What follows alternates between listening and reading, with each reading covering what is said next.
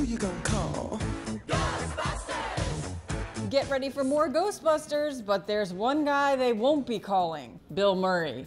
Hey guys, I'm Kristina Behr with Buzz 60. Dan Aykroyd sat down for an exclusive chat with Larry King Now to talk about the upcoming Ghostbusters 3. He says the plot revolves around a group of young researchers from Columbia University. Our four planes of existence, length, height, width, and time, become threatened by some of the research that's being done, and Ghostbusters, new Ghostbusters, have to come and, and solve the solve the problem.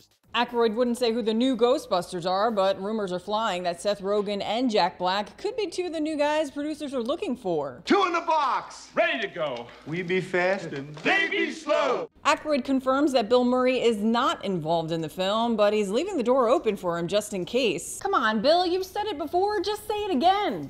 I love this plan. I'm excited to be a part of it. It. Buzz 60. Now you know. Pass it on.